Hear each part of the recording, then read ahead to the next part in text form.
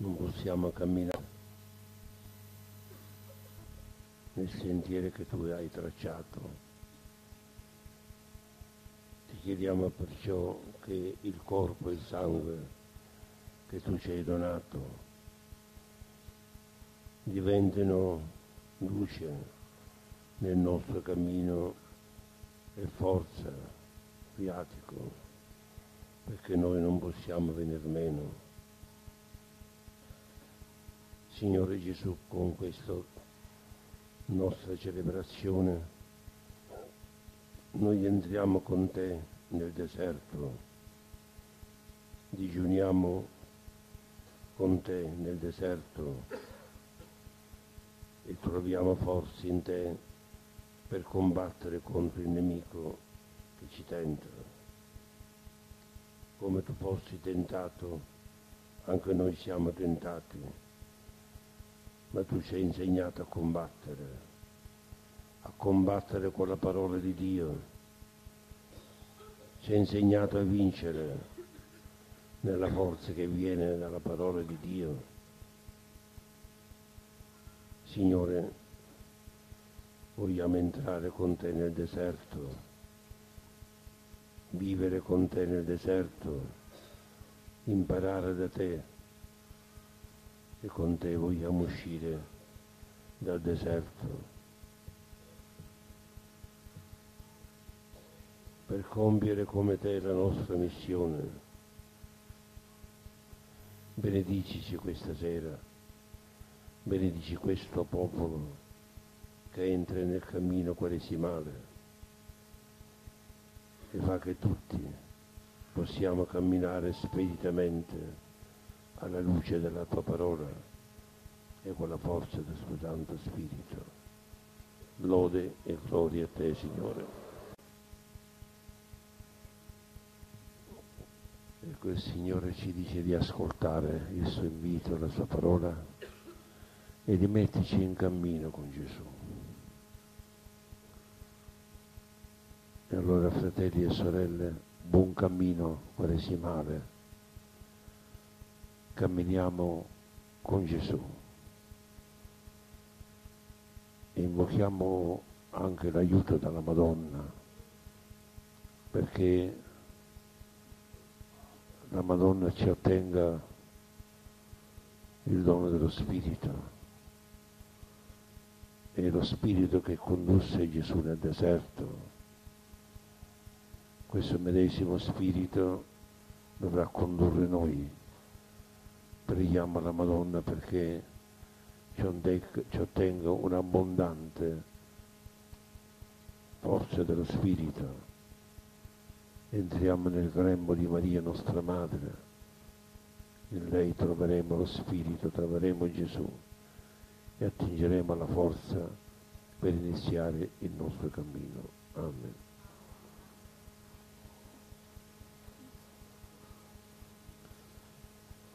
Preghiamo questo sacramento che abbiamo ricevuto, Padre, ci sostenga nel cammino quaresimale, santifichi il nostro digiuno e lo renda efficace per la guarigione del nostro spirito, per Cristo nostro Signore. Il Signore sia con voi Dio Padre misericordioso, concede a tutti noi come al figlio prodigo la gioia della patria.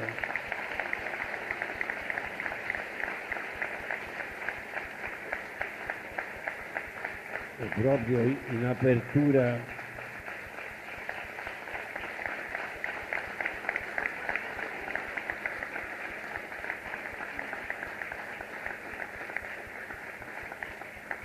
In apertura il Signore ci ha dato questo testo.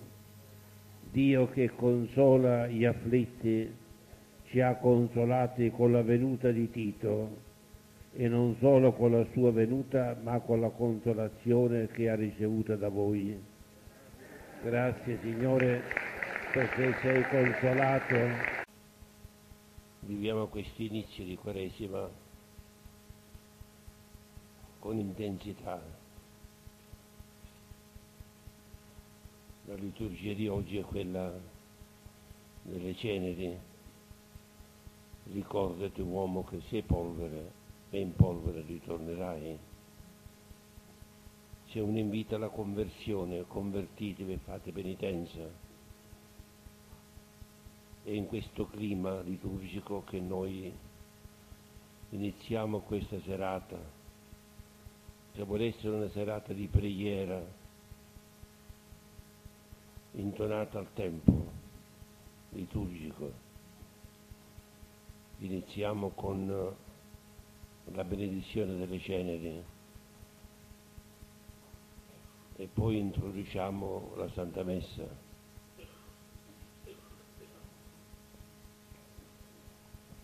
Nel nome del Padre e del Figlio e dello Spirito Santo. Amen. Tu ami tutte le cose, tutte le tue creature, Signore, e nulla disprezzi di ciò che hai creato. Tu dimentichi i peccati di quanti si convertono e li perdoni, perché tu sei il Signore nostro Dio. E con questa antifona che iniziamo questa liturgia, il Signore è l'amante della vita. Egli per questo non, non uccide quelli che lo offendono, ma li perdona, purché chi offende il Signore riconosca, riconosca il suo peccato e chiede perdono. E allora, fratelli e sorelle, chiediamo perdono al Signore dei nostri peccati O Dio nostro Padre, concedi al popolo cristiano di iniziare con questo digiuno un cammino di vera conversione per affrontare voi vittoriosamente con le armi della penitenza il combattimento contro lo spirito del male per il nostro Signore Gesù Cristo tuo Figlio che è Dio e vive regna con te nell'unità dello Spirito Santo per tutti i secoli dei secoli. Sì. Adesso un momento di silenzio. Dopo questo momento di silenzio possiamo anche invocare lo Spirito del Signore perché ci faccia penetrare nel senso della liturgia da cui attingiamo la salvezza in modo da celebrare questo inizio di Quaresima nella luce e nella forza dello Spirito.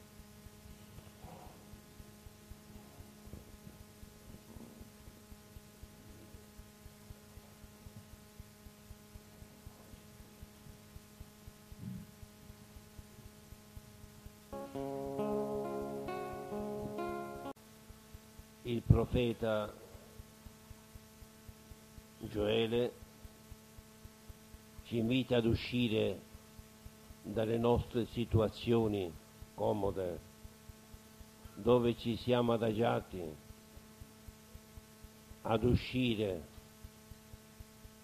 vestiti di sacco, di cenere, ma uscire e andare incontro a colui che ci chiama. Nella seconda lettura c'è l'invito alla riconciliazione con Dio in questo tempo favorevole che è il Kairos di Dio. Nella terza lettura, quella del Vangelo, c'è la vita penitenziale dopo la riconciliazione.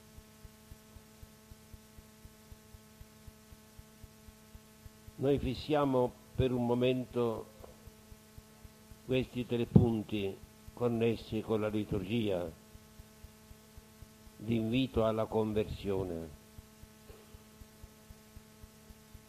La conversione è un fatto di Dio, è Dio che converte noi, ma Dio è sempre pronto verso di noi, guarda sempre a noi.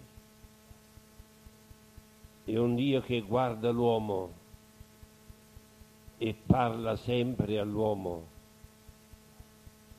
è sempre con la bocca aperta tutto il giorno, come dice la scrittura, e che non c'è nessuno che ascolti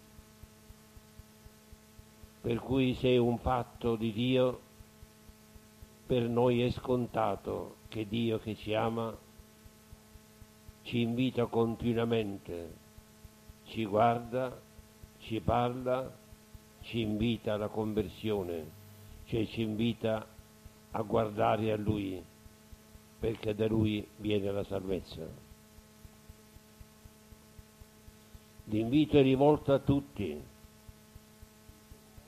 ai sacerdoti che debbono stare tra il vestibolo e l'altare, allo sposo e alla sposa che debbono lasciare la camera nuziale, ai bambini, ai fanciulli,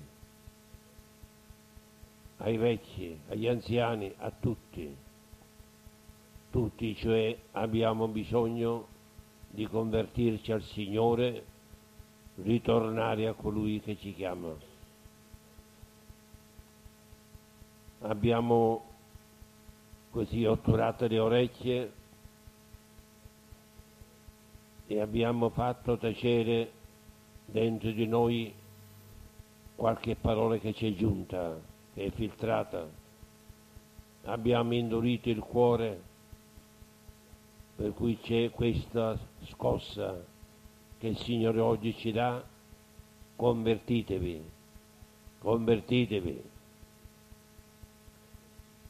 Questa voce conversione risuona sempre nelle scritture, cominciando dai profeti, convertitevi, fino all'ultimo profeta Giovanni Battista che grida convertitevi e fate penitenza perché la scureggia è la radice dell'albero e l'albero che non sarà trovato con frutto sarà reciso e buttato nel fuoco. Allora ascoltiamo la voce del Signore e guardiamo al Signore che ci chiama. Questo è il momento favorevole ci dice il Signore nella seconda lettura. Invita alla conversione e invita alla riconciliazione con Lui. Riconciliarci con Lui. La riconciliazione con Dio che comporta una vita nuova. Questa riconciliazione con Dio avviene in Cristo Gesù come detto nel testo, e avviene mediante il ministero dei sacerdoti. E Paolo che dice noi siamo ambasciatori di Dio per portarvi la parola del Signore, siamo collaboratori di Dio nel distribuirvi, nell'incanalare la grazia del Signore e per questo grida lasciatevi riconciliare con Dio, ascoltate la parola di Dio e mettetevi così in disposizione dell'anima per accogliere la grazia del Signore. Questo è il momento favorevole. Noi siamo i ministri, i sacerdoti sono i ministri della parola e i ministri della grazia. Attraverso la predicazione scuotono e invitano i fedeli, ma attraverso il sacramento della riconciliazione essi riconcilino con Dio. È chiaro che la riconciliazione è un fatto di Dio, come la conversione, però passa attraverso la mano del sacerdote, che in quel momento e come Dio sulla terra. Quello che voi legherete sulla terra sarà legato in cielo, quello che voi scioglierete sulla terra sarà sciolto in cielo. Il sacerdote ha un potere infinito. È Dio che usa il sacerdote perché lui soltanto assolve, però la grazia passa attraverso le mani del sacerdote, che in quel momento è Cristo Signore, l'unico mediatore tra cielo e terra. Ecco allora l'invito a riconciliarci attraverso il sacramento della riconciliazione, confessando il nostro peccato condannando il nostro peccato e poi introducendoci in una vita penitenziale. Ecco allora la terza lettura, le opere penitenziali. Entriamo in un clima penitenziale.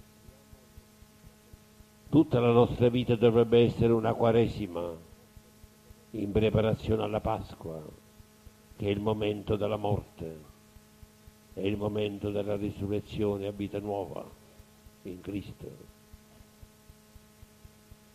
E saper dare così alla vita questo tono quaresimale, entrando nell'ordine dei penitenti, instaurando tra di noi la comunione penitenziale che diventa poi comunione eucaristica. Ma prima di essere comunione eucaristica è comunione penitenziale. Siamo dei penitenti. Entriamo nell'ordine dei penitenti. Questo noi lo dimentichiamo molto facilmente. Cantiamo, balliamo, dimenticando che la nostra vita è una vita penitenziale dove si può cantare, si può gioire, perché già siamo salvati in Cristo Signore, ma tutto questo comporta che facciamo le opere penitenziali, perché siamo in questa valle di lacrime per fare penitenza dei nostri peccati e dei peccati dell'umana famiglia per quella solidarietà che ci lega a tutti gli uomini. Le opere penitenziali a cui ci richiama il Vangelo e che la Chiesa mette oggi davanti ai nostri occhi sono la preghiera, l'elemosina e il digiuno cioè interessano tutto l'uomo nei tre parametri, rapporto con Dio, preghiera, rapporto con il prossimo, elemosina o carità, rapporto con noi stessi, il digiuno. Perché tutto l'uomo entra in penitenza. Questo io vorrei ribadire perché tante volte tante volte a furia di cantare, gioire, Signore ci ha salvato, noi dimentichiamo di far penitenza. Nell'antica assoluzione, cioè nella formula di assoluzione che dava il sacerdote fino al concilio, poi è stata leggermente riformata, veniva detto, subito dopo ti assolvo, tutto quello che tu farai, tutto quello che tu patirai nella tua vita, tieni sconto dei tuoi peccati. Anticamente la soluzione veniva data dopo una vita penitenziale, adesso viene data subito dopo la confessione. Però questo non esime dal fare la penitenza, perché il peccato comporta un reato di colpa e un reato di pena. Il reato di colpa ti viene assolto dal sacerdote, ma il, il, il reato di pena resta. Devi scontare la pena. Noi siamo così abituati a confessarci e dire ormai sono assolto, non ci voglio pensare più. Mi dico tre padre Ave Gloria, o tre Ave Maria, o cinque Salve Regina, oppure un Gloria Padre, quelle che mi ha dato il confessore, e tutto è fatto. Non è così. La penitenza bisogna farla e bisogna farla per tutta la vita, soprattutto quando noi abbiamo peccato. Ecco perché noi entriamo in una comunione penitenziale. La Chiesa è comunione penitenziale, è comunione eucaristica, ma comunione penitenziale, perché lo sposo divino si rinnova, rinnova sempre la Chiesa, facendola sempre più bella, senza macchia, essa che è santa è purificata ogni giorno per rendere bella e immacolata il suo cospetto. Noi siamo la Chiesa, santificata dal sangue di Cristo, ma dobbiamo far penitenza Dobbiamo cioè pregare, usare carità verso il prossimo e digiunare. Un momento voglio fermarmi su questi tre punti che sono le tre opere penitenziali. Resto, resto, resta sempre fermo questo concetto che siamo in un tempo penitenziale che nella vita bisogna fare penitenza, accettare tutti i mali che ci vengono in penitenza dei nostri peccati e fare delle opere in riscontro dei nostri peccati, perché il reato della pena non è assolto, quello della colpa sì, ma la pena bisogna scontarla o in questa vita o nell'altra vita, nel purgatorio. Restando fermo questo, ecco allora le tre opere che noi possiamo così eh, avere a disposizione, e cioè la preghiera, l'elemosina e il digiuno, per risanare l'uomo nei tre parametri rapporto con Dio, rapporto con se stesso, rapporto con gli altri. La preghiera. Il cristiano deve sempre pregare. Non è tanto la preghiera pubblica,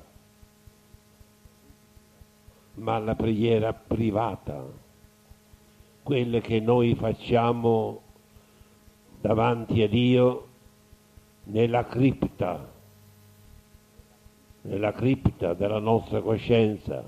Criptos significa nascosto, il segreto. Ed è lì che tu trovi Dio, nel segreto del cuore. Proprio detto nel testo, entra nel segreto e il Padre tuo che vede e poi il Padre tuo che nel segreto, allora ti ascolterà. Dunque il Padre tuo Dio è nel segreto, vede nel segreto, tu parli a Lui nel segreto, chiudendo la porta, e nel segreto del cuore, dove noi decidiamo del bene e del male. Decidiamo il nostro destino che tu devi incontrarti con Dio.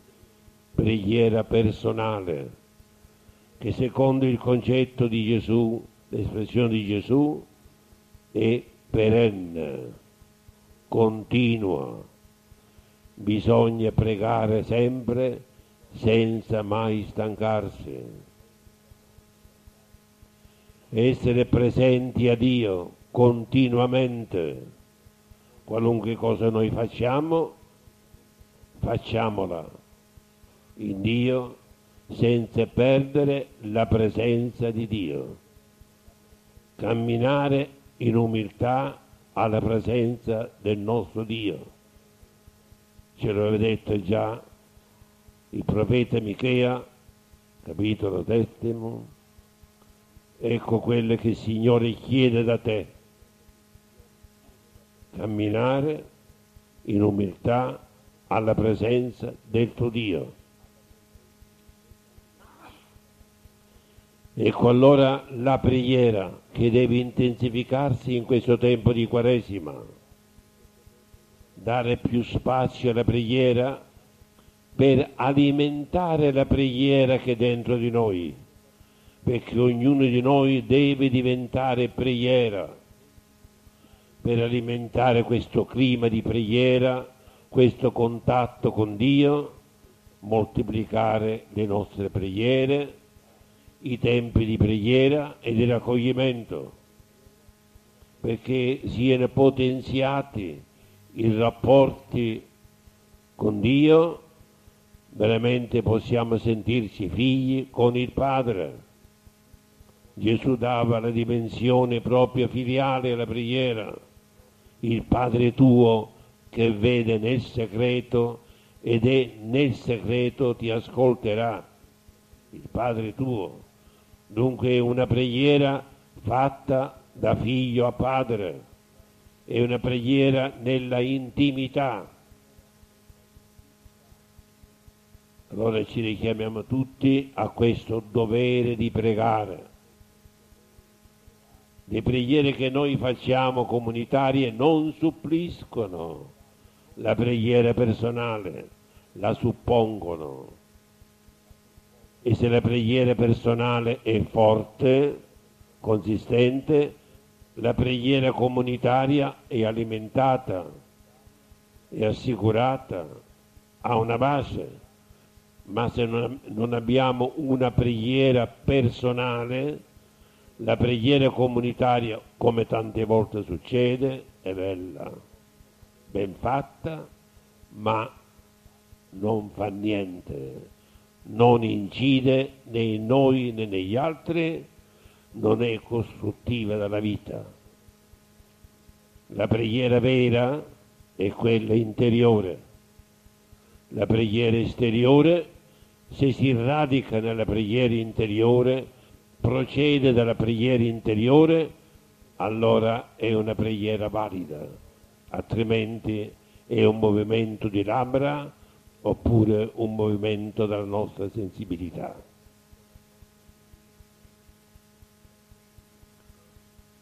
Secondo punto, l'elemosina. Per elemosina si intende la carità, e spossessarsi di sé e dare agli altri. Sono le opere di misericordia, le 14 opere di misericordia, sette corporali e sette spirituali,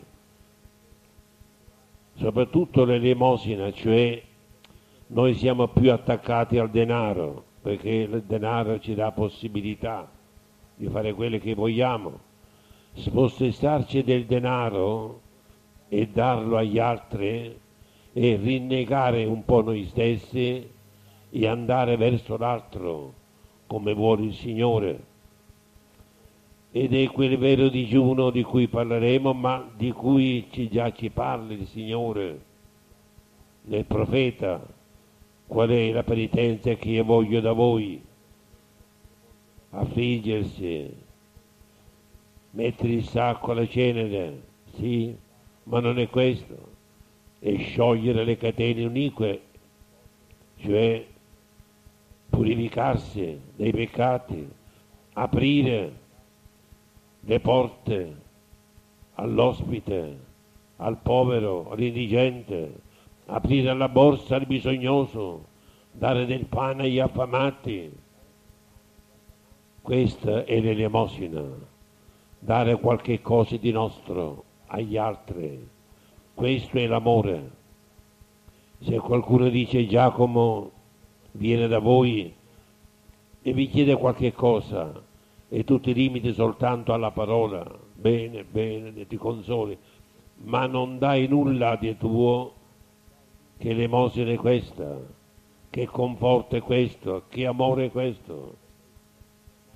L'amore bisogna che si concreti in opere e l'elemosina è un'opera buona che esprime tutta la carità che noi possiamo avere verso gli altri ed è attraverso l'amore dimostrato agli altri che si estinguono i nostri peccati.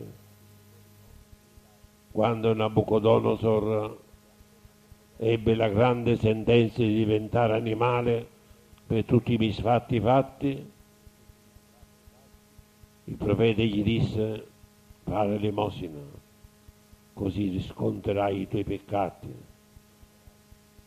Perché l'elemosina distrugge il peccato, cioè il reato dalla pena.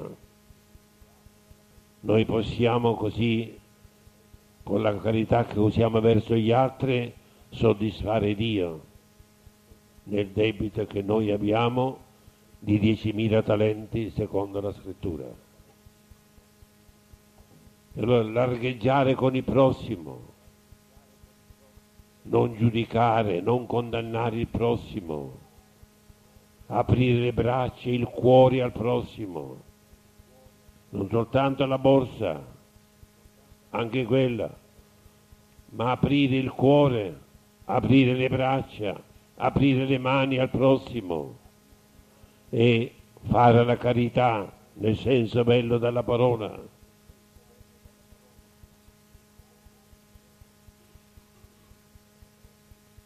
poi la terza opera, il rapporto con noi stessi, il digiuno. Oggi il digiuno è messo in discussione e la stessa Santa Madre Chiesa per venire incontro all'uomo di oggi che non è disposto in questo tempo di consumismo, in questo clima di edonismo, a rinunciare al cibo e alla bevanda, limita al massimo il digiuno. Oggi è venerdì santo.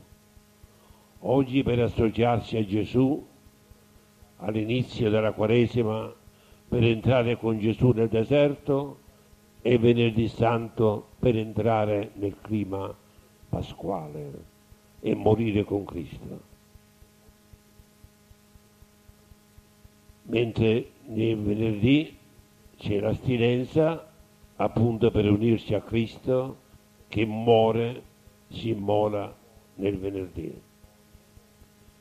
Però tolti questi giorni di astinenza dalle carni il venerdì e tolti questi due giorni proprio ridotti al minimo anche nella forma perché si può mangiare un bel pasto al giorno e qualche cosa al mattino, qualche cosa alla sera e non resta proprio nulla, noi non digiuniamo più. Anche nei nostri ordini religiosi prima si digiunava di più. La tradizione del Vecchio Testamento e del Nuovo Testamento si parla di digiuno fisico. È vero che il vero digiuno è quello proclamato da Isaia, è quello ribadito dalla, dalla Chiesa che il digiuno dal peccato, il digiuno eh, da ciò, da ciò che può indurci al peccato, però questo non significa che non dobbiamo digiunare. Mosè digiunò, Gesù digiunò 40 giorni, tutti i grandi santi digiunavano. San Francesco faceva sette quaresime. Quanti se ne rimanevano? Di giorni in cui poteva mangiare. Sette quaresime all'anno. E i nostri padri fino al concilio digiunavano. Nei nostri paesi si chiudevano le carnezzerie. Ne restava soltanto una a turno per i casi di bisogno. Oggi invece tutto è aperto, si mangia, si beve, a tutto spiano. È tempo di consumismo ed edonismo. Si è pensato alla Madonna, la quale ritorna al digiuno, mentre noi proclamiamo due volte l'anno digiunare e il nostro digiuno è così, alla buona, un bel pasto a mezzogiorno, un pochettino alla mattina, un pochettino alla sera, la Madonna ci dice, ehi figli miei, digiunate due volte alla settimana, a pane e acqua. La Madonna ci mette a pane d'acqua. La Madonna così buona, così materna verso i suoi figli, ci dice digiunate due volte alla settimana a pane e acqua. È lei che rivaluta il digiuno che noi abbiamo dimenticato. Lo ripropone alla Madonna. Lo dimentichiamo noi. Nell'uso e nei costumi non c'è più digiuno, ma la Madonna ci dice no, non andiamo bene. perché il peccato è entrato in questo mondo per la gola e deve uscire da questo mondo e da noi attraverso la gola e attraverso il cibo che è entrato il peccato e attraverso la mortificazione del cibo che deve uscire il peccato da noi. Per questo bellamente San Tommaso congiunge il digiuno alla castità, è uno stimolo, un richiamo alla castità, la legge che vige nel mistico corpo di Cristo. Chi digiuna è più inclinato ad essere casto, ma oggi che questo precetto della castità è sparito di mezzo agli uomini, necessariamente sparisce il digiuno. Il digiuno rafforza la volontà di astenersi da ciò che non è lecito fare. Se tu sei capace di dire no al cibo, no alla bevanda, no al caffè, no alla televisione, poi è più, è più facile per te dire no al peccato, a una proposta di peccato.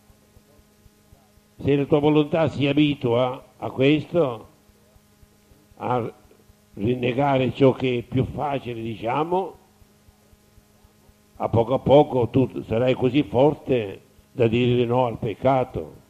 E siccome viviamo in un mondo così corrotto, dove la seduzione del maligno è così, così continua, per cui da ogni parte ci viene invito al peccato, e al peccato di lussuria, ecco perché si rende più necessario oggi, più che ieri, il digiuno. Il digiuno. Si può fare digiuno in tante maniere, ma il digiuno è sempre digiuno. Digiuno fisico, corporeo, perché il digiuno del corpo è buona salute tutti i grandi santi che hanno digiunato hanno acquistato salute. Gli anacoreti che digiunavano spessissimo, erano quasi in continuo digiuno, vivevano a lungo, 100 anni, 110, 115. Noi che mangiamo, mangiamo, ci abbuffiamo, poi un colpo e moriamo.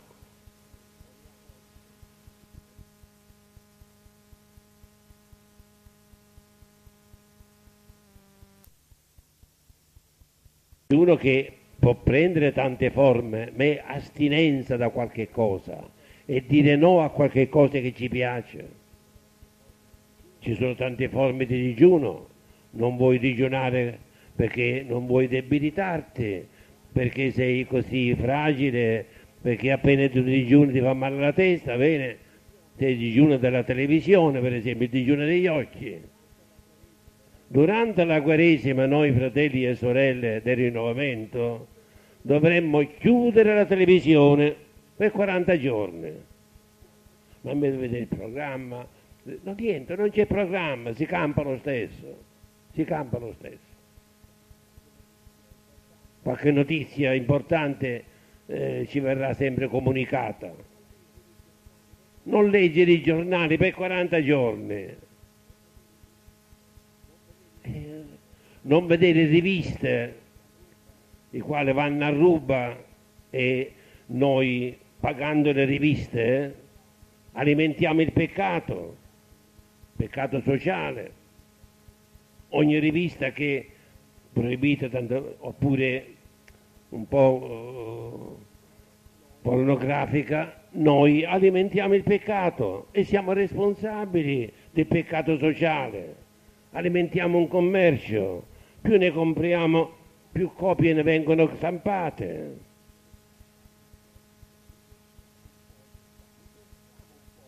Disertiamo un po' i bar. Perché la gente è abituata a entrare nei bar, mangiare cannola e bere. In faccia alla Quaresima. Non andiamo al bar per 40 giorni, non entriamo. Ci sono tanti modi di digiunare. Non ascoltiamo musica, non ascoltiamo musica, non ascoltiamo cassette. Tanti modi di digiunare, cioè astenersi da ciò che piace, per cui il digiuno può prendere tante e tante forme. E allora questo è necessario per irrobustire noi stessi, noi stessi, per purificare noi stessi, irrobustire noi stessi nella triplice lotta contro i tre grandi nemici, la carne, il mondo e il demonio. Cose sapute e risapute che però dimentichiamo con molta facilità. Ecco allora la Santa Madre Chiesa ci richiama a queste tre opere penitenziali attraverso il Vangelo di oggi.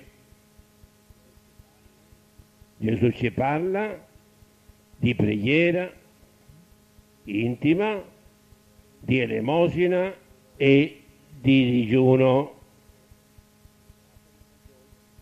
fatta nella gioia. E allora noi dobbiamo pregare e ballare, fare l'emosina e ballare, digiunare e farci belle, perché il Padre nostro che sta nei cieli veda lui soltanto quelle che noi facciamo. Non dobbiamo farle per gli uomini, ma per lui. Così noi ci introduciamo nella Santa Quaresima con questo spirito.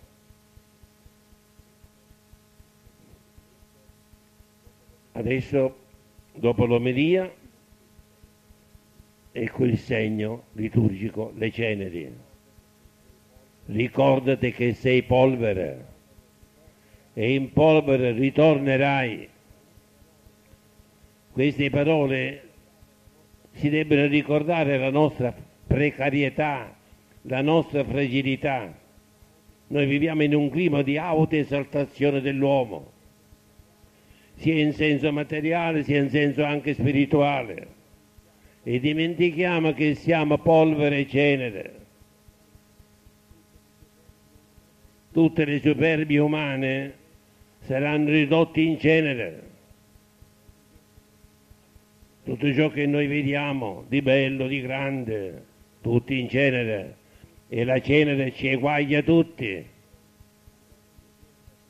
ridotti in cenere come il santo così il peccatore, come l'uomo potente, il grande politico, il grande scienziato e polvere e cenere, la bella donna pomposa, tutte quelle che sfilano come modelle, cenere, fango, tutti i bei profumi che sono propagandati attraverso i canali televisivi saranno materie puzzolente. Questa è la verità cruda, perché polvere siamo e polvere ritorneremo. La terra che calpestiamo noi è un miscuglio, è un miscuglio di detriti vegetali, detriti animali e detriti umani. Noi camminiamo sui detriti umani, la polvere delle strade, la polvere delle campagne, tutte mescolanze di detriti vegetali, detriti minerali, detriti umani. Ecco che siamo ridotti, che ne di milioni e miliardi di gente che non esiste più, polvere, polvere dalla terra. Questo noi siamo. E con la nostra superbia come cade. E lo spirito va al Signore. Ma il nostro corpo è fragile, è precario, è terra. E allora quel, quel corpo che noi abbelliamo, nutriamo, che contentiamo in tutte le sue voglie, noi facciamo questo per ciò che è polvere. Tutto sarà azzerato. Ricordati uomo che sei polvere e in polvere ritornerai. E non sono queste idee più o meno accettabili, è la nuda e cruda realtà a cui la Chiesa oggi ci richiama. Tra cento anni tutti polvere siamo qua dentro siamo tutto un pugno di polvere e su questo non ci piove. Tutti, fra cento anni, siamo polvere. E allora, e allora, facciamo gli interessi dell'anima, che non diventa polvere, è spirito e torna a Dio, carica del bene e carica del male. E va in paradiso o va all'inferno dobbiamo anche ricordare queste nuovissime, che spesso dimentichiamo, a furia di cantare, di ballare, di celebrare le cose belle, dimentichiamo che c'è l'inferno, c'è il purgatorio e c'è il paradiso. Questa è la predicazione terra a terra, che prima si faceva o non si fa più. Ogni tanto lo ricordiamo tutte queste cose che ci venivano dette una volta, oggi che parla più del paradiso. Mai abbiamo fatto noi predica sul paradiso, quasi che non esiste. Prediche sull'inferno sono più rare, prediche sul purgatorio, invece facciamo belle prediche. Sono misericordia di Dio, buono, santo, giustizia non ne parlevo mai, eh? Quelli che i giudizi di Dio, questo non lo parliamo, non lo diciamo mai, quale tremendo giudizio noi avremo. Eppure questo è il Vangelo. Dobbiamo noi praticare il toto Vangelo, tutto il Vangelo, non soltanto quella parte che ci più ci aggrada, tutto il Vangelo, tutto il Cristo, tutta la predicazione di Cristo. E allora fratelli e sorelle io non mi dilungo, ma ho voluto un poco così dilungarmi perché non c'è stata la preghiera. Adesso noi faremo l'imposizione delle cenere ricordandoci tutte queste cose e chiedendo al Signore di avere pietà di noi e impegnandoci a vivere una buona Quaresima, convertendoci al Signore, questo è il tempo favorevole, riconciliandoci con il Signore attraverso il sacramento della penitenza e conducendo una vita penitenziale, entrare nell'ordine dei penitenti, entrare in comunione penitenziale tra di noi. Chiediamo al Signore di comprendere queste cose. Dio Spirito di Dio che abbiamo invocato, facci comprendere tutte queste cose e metti dentro di noi il seme della tua luce, della tua forza, della tua grazia. Senza di te nulla noi possiamo. Amen. Egli è sopra di noi ed è dentro di noi. Tutto da Lui procede e tutto a Lui ritorna. È il Padre del Signore nostro Gesù Cristo. In Lui siamo diventati figli e abbiamo con Lui lo stesso Padre. E a Lui che ci rivolgiamo come suo figlio ci ha insegnato. Lo diciamo insieme.